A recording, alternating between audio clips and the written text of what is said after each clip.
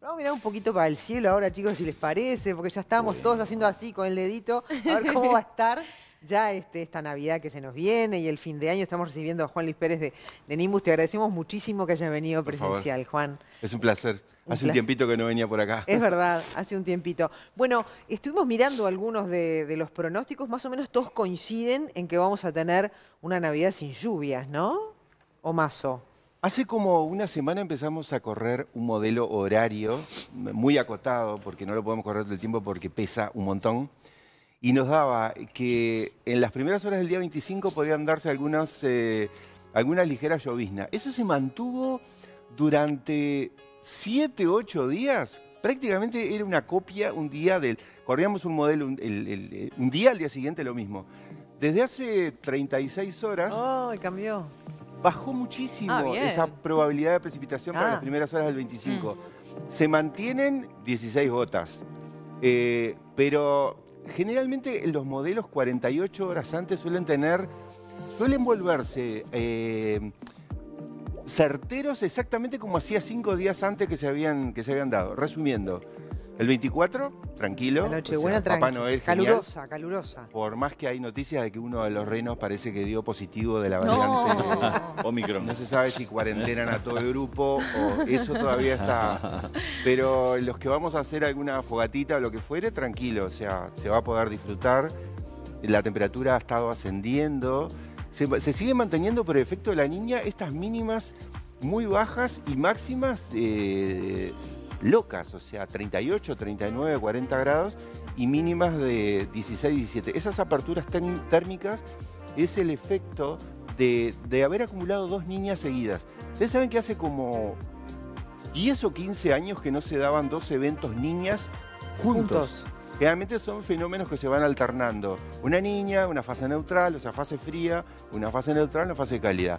Pues la sorpresa fue que mitad del año pasado se, vuelve a confirmar de que tendríamos niña por lo menos hasta febrero o marzo de... ¿Qué implica la niña en estas latitudes? Bueno, esa es excelente pregunta. Vivir en latitudes medias con una niña es casi, bueno, un déficit hídrico, por eh, generalmente un marcado déficit hídrico que ya se está viendo en algunas zonas del territorio, y temperaturas un poco por debajo de lo normal. ¿Qué pasa? Como nos está pegando en verano, no nos pega tanto en las máximas, pero sí nos está pegando en las mínimas. Entonces amanecemos, prácticamente hay que salir con una camperita a las 4 Una de la tricota. mañana. Sí. Y a las 2 de la tarde estamos eh, sacando el, el agua del freezer. porque- Claro. Bueno, eso se va, se va a seguir dando por lo menos hasta bien entrado el otoño 2022. Eso hacen lo- dicen los análisis climáticos. Y ayer Ajá. le dimos la bienvenida, ¿no? A este sol- Ayer solsticio fue de el día- verano. exacto, el día Pero, más largo. em, es algo que se repite, ¿no? Esto de, la- de las navidades muy calurosas. Yo tengo recuerdo de esto, mediodías de Navidad, tarde de Navidad, de estar, pero sudando la gota gorda. Yo, yo tengo, eh, tenemos recuerdos muy cortoplacistas. Yo recuerdo navidades en donde para salir a prender los, los, los petardos este, teníamos que abrigarnos. No.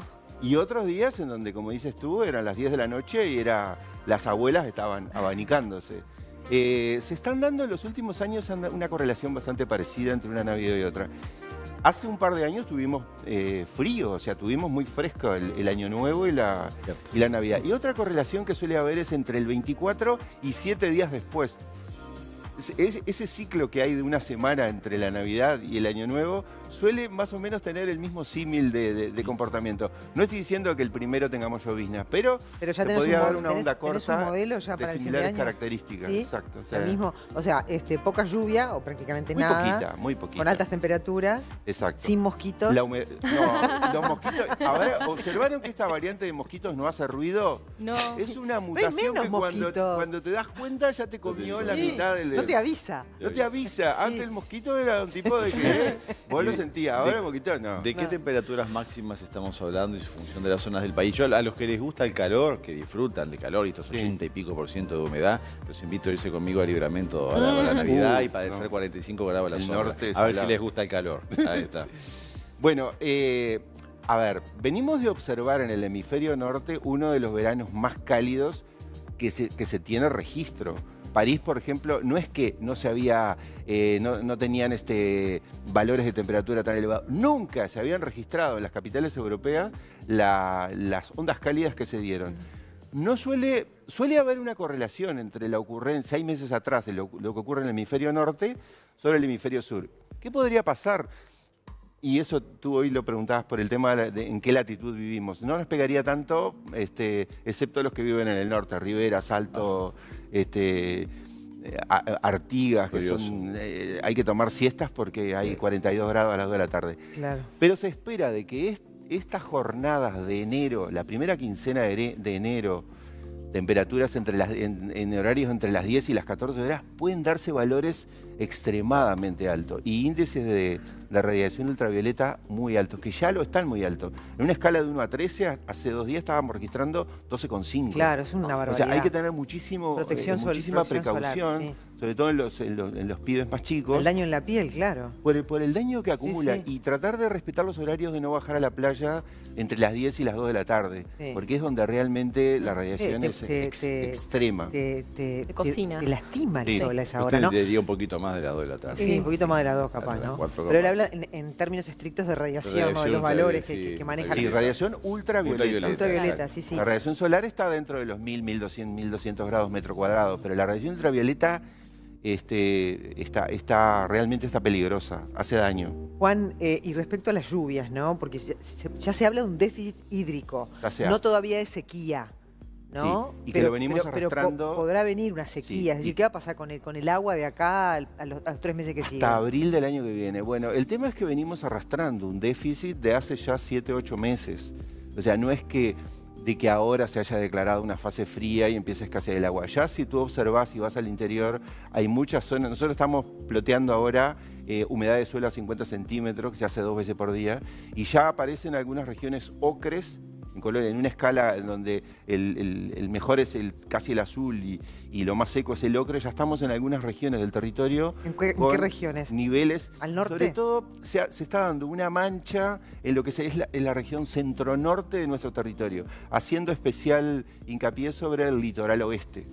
Eh, lamentablemente recién, empie- o sea, recién empieza a marcarse eso, pero nos queda hasta febrero o marzo del año que viene, todavía nos queda episodio niña eh, y, y se va a marcar ese déficit, va a y ser que importante. después viene el extremo de, de mucha lluvia, ¿qué se va a dar después Bueno, de ese? nosotros esperábamos que de esa fase fría que habíamos tenido pasáramos a una fase neutral, no que se juntaran dos niñas.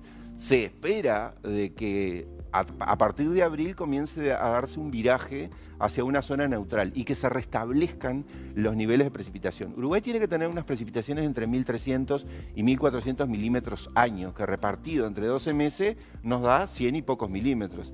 Ha habido meses en donde no se llegó a 70 y, y- y no se han ido restableciendo esos niveles. Por lo tanto, aquellas regiones en donde no precipitó ya están bastante carenciadas de, de precipitación. Claro, ¿y esto este, implica acá el cambio climático, toda esta variabilidad, o, o es algo natural, digamos? Hace un tiempo las dos bibliotecas estaban muy divididas de si era un fenómeno que, de que el cambio climático lo estaba afectando, si realmente las causas eran antropogénicas, todo ese tipo de cosas.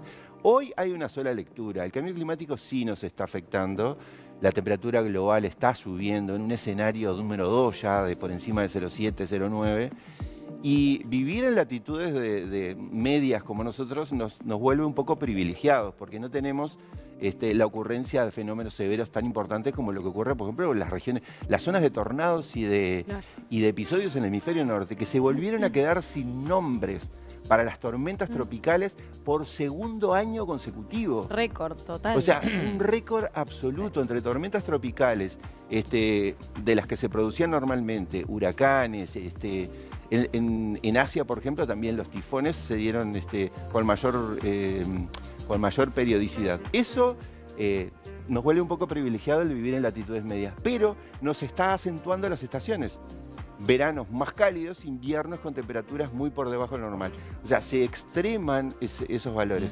Ese es el, el cambio Y climático hay para una, nosotros. hay una tendencia a la tropicalización del norte de este país. Porque digo, ayer, por ejemplo, la zona de Artigas llovió abundante, granizadas Sí. tremendas en Rivera. Sí, o sea, sí, y se da con frecuencia eso. Y lluvia. aparte en zonas muy puntuales, eh, que de repente a 50 o 60 kilómetros no ocurre, ahí sí. Sí. La tropicalización no solo afecta, eh, nos está afectando generando zonas de precipitaciones con, con- con- con, este, con eventos severos y otras no, sino que además estás eh, tropicalizando vectores de transmisión de enfermedades. Mosquitos que solían vivir desde determinado paralelo a determinado paralelo han encontrado un, un callejón perfecto térmico para llegar a nuestras latitudes. Es lo que está ocurriendo, por ejemplo, con el dengue. Un mosquito que ya ahora llegó para quedarse pero que era un, era un, era un, era un bicho que, que- que vectorizaba de latitud 31 hacia latitudes más bajas. Claro, claro. No en latitudes tan altas, de repente Claro. 30 y pico por un mosquito ya era mucho. Era mucho. Con ella tenemos que ir cerrando, pero la, la última, porque mientras hablabas de, de estos fenómenos y de eventos severos, tuvimos un verano hace unos años que estabas en la playa, de golpe te vino una tormenta, se volaba tote.